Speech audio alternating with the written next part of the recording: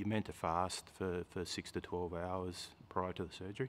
That's the hardest part, I think, of the surgery is fasting and not having any coffee, uh, you know, prior to going in.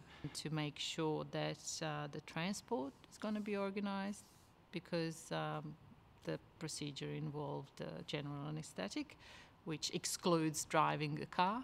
Uh, my partner, my youngest daughter, and myself uh, will go into the, the hospital together.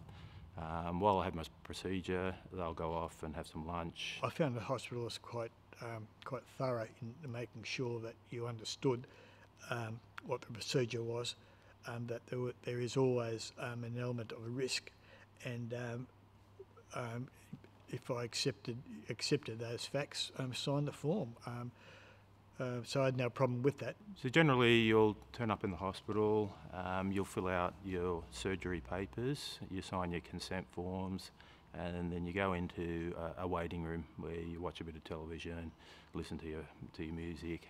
Um, until a nurse calls you in, um, she weighs you, takes your blood pressure, asks you if you're allergic to anything, and you go through um, all the forms that you've filled out. Told me what was going on. The um, anaesthetist and um, know, explained everything to me. When they were wheeling me in, I thought, great, you know, I was first cab off the rank and it's going to get done. So um, I'll, I'll, be, you know, be back at base, you know, um, by lunchtime. The procedure uh, is really um, not that difficult in terms of pain. There is no big scars. It's just two little holes, and then again technology. That's because the technology involved in a way that allows a little tool to be inserted, as opposed to knee open. Um, I've woken up just like from a sleep. Um, you've got no memory at all of anything. When the patient is waking up from the general anaesthetic, it involves a bit of dizziness and, and disorientation and, and shivers. Uh, but then, you know, uh, you, you hear this warm voice saying, Hey, how are you? Are you feeling? And it's kind of just, just feels good that you're well taken care of and that everything is okay. A nurse came over, asked me how I was feeling. And I said, Fine. I said, oh, good, we'll take you out, you know, um, we'll walk you out um, to a common area um, give you give you something to drink and some sandwiches. The nurses come periodically just to check your pain threshold and to see if you need any more uh, pain medication. I didn't experience any pain. I had the I had the ice pack, um, which left him, and um, they gave me some painkillers, which if it was hurting, I would have taken. But but I've still got them at home.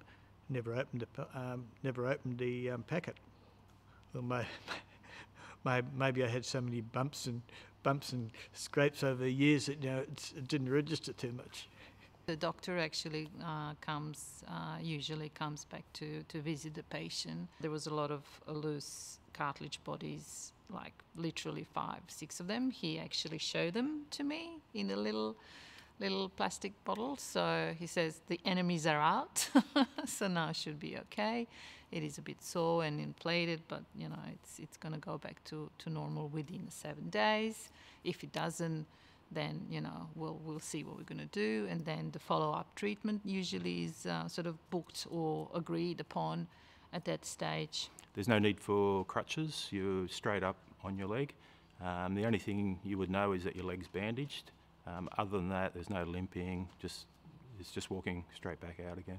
So generally, I'll, I'll give the discharge information to my partner, um, who will read the discharge information. That, that typically will give you advice on uh, what pain medications to take, um, what not to do after the procedure, how to look after your wound so there's less chance of infection. When I left the hospital, they um, gave me the instructions that you uh, rest the knee, um, if it's if I have a lot of pain or um, is any weeping, contact the hospital straight away, um, which I didn't need to do, and to see the surgeon um, in a week's time.